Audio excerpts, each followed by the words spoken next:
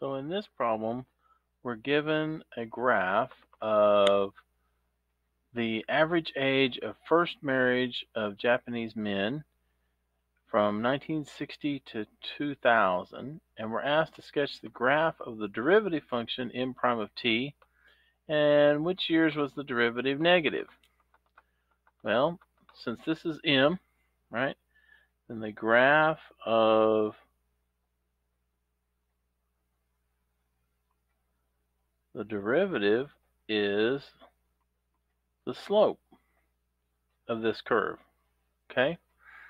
So we can first see that this slope over here at the beginning in this area is roughly 1, right? It's roughly a slope of 1 happening there. And then what do we see? We see the slope is, is positive, but it's going towards 0. Because when we get to here, the slope is 0. So we're here. It's 0, okay? So our slope might go something like this, okay? Then this is a decreasing curve, so that's a negative slope. And again, right here, we're at a slope of 0 again, aren't we? So we have some decreasing curve down here. Okay. Then what happens? Then we start to take off with some positive slope. But you notice it like levels out as we're going across here, right? So the slope kind of heads back towards zero.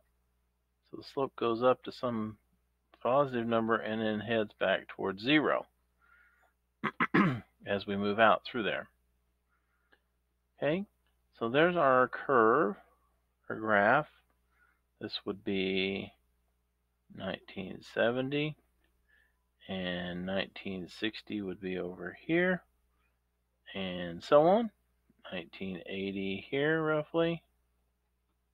Okay and so on. So when is it negative?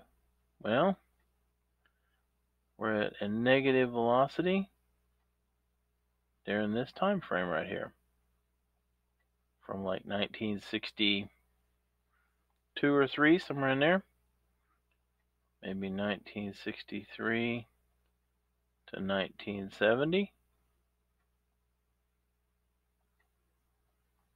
The derivative is negative, right? Less than zero. Okay, there we go.